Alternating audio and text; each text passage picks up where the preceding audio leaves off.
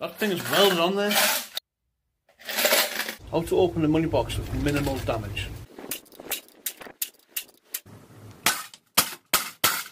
Sure.